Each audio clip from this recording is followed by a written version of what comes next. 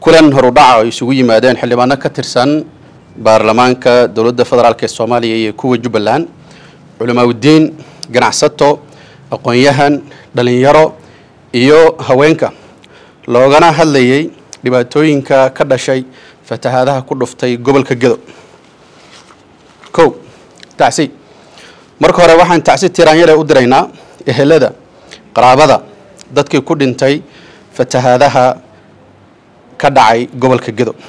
Dadkaas waxaan u rajaynaynaa inay yihiin shuhado sida ku cad diinteenna suuban iyo axaadiista nebiga sala allahu calayhi wasalam daadadka iyo fatahaadaha ka dhacay gobolka gedo waxay geysteen saameyn aada iyo aada u ballaaran.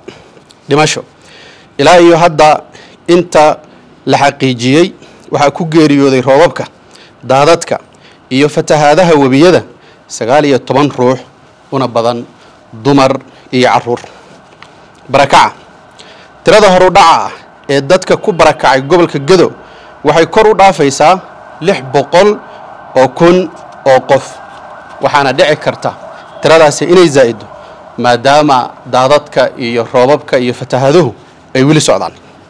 Burbar hantiyadeed gebi ahaanba biyuhu waxay qaadeen suuqyadii ganacsiga degmooyinka luuq doolow buurdhuubo baar dheere iyo ceelwaq sidoo kale biyuhu waxay baabi'iyeen dalagii beerihii qalabkii ay beeralaydu beeraha ku waraabsanaysay ee gobolka gedo fatahaaduhu iyo daada iyo daadadku waxay burburiyeen kaabayaashii dhaqaalaha sida degmada baar dheere oo webigu uu gooyey buundadii degmadaas.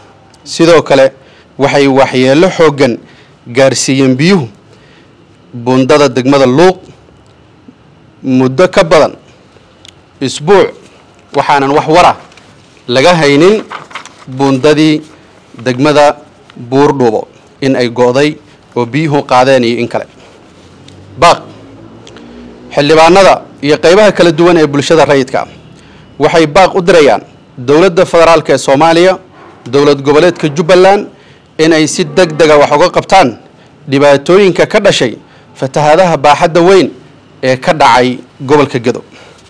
Labo waxaan sidoo kale baaq u diraynaa ummadda soomaaliyeed inay garab istaagaan walaalahooda ku dhibaatoobay daadadka iyo fatahaadaha ka dhashay roobabkii ee da'ay.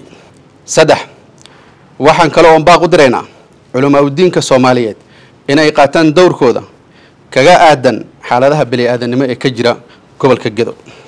Afar waxaan baaq u diraynaa hay'adaha ka howlgala gobolka gedo shirkadaha kala duwan iyo ganacsatada inay qeyb ka qaataan gurmadka socda ee fatahaadaha.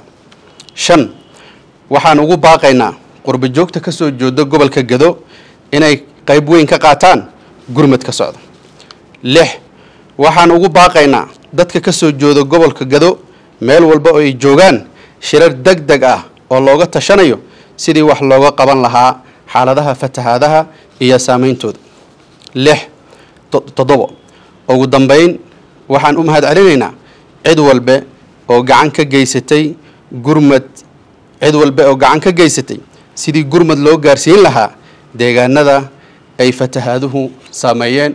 Wabillahi towfiiq asalaamu calaykum waraxmat ullahi wabarakaatu shirkadda hormuud telecom waxay macaamiisheeda qiimo dhimis ballaaran ugu samaysay xirmooyinka internetka iyo kaarka ku hadalka ee adeega anfac balaas xirmada cusub ee shan iyo labaatanka senti waxaa laga dhigay afar boqol oo mb iyo toban daqiiqo oo gudaha ah. Halka xirmada nus doolarkana laga dhigay siddeed boqol iyo konton mb iyo soddon daqiiqo oo gudaha ah. Xirmada halka doolar waxaa laga dhigay laba g b oo daata internet ah boqol daqiiqo oo ku hadalka gudaha ah iyo konton fariin qoraaleed.